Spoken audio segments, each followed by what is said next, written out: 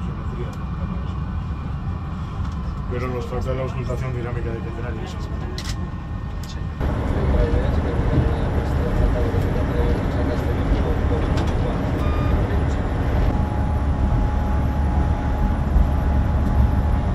Se podría, porque los entrenamientos y todo está en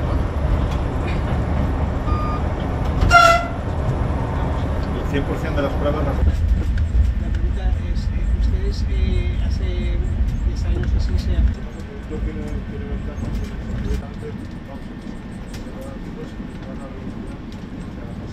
Quiero agradecerle el hecho de que en tres meses de ministro sea la segunda visita a la provincia de Castellón.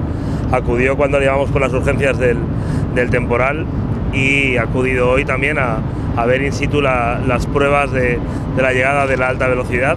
Creo que con esto se plasma un- una, una realidad y es que cada día el AVE está más cerca de Castellón y eso es una, una gran noticia. Eh, es necesario eh, que cuanto antes Castellón pase a formar parte de las provincias de alta velocidad, porque llevar un ave a Castellón no es traer un tren. Llevar un ave a Castellón es traer pasajeros y turistas seguro, porque esta provincia es capaz, sin infraestructuras, de llenar sus hoteles eh, durante todo el año. Cuando nos dan la oportunidad, cuando nos dan infraestructuras, lo, demostramos mucho mejor. Por tanto, creo que es una, es una buena noticia el que se estén dando estos, estos pasos y creo que es necesario que cuanto antes llegue la alta velocidad llena de pasajeros a Castellón.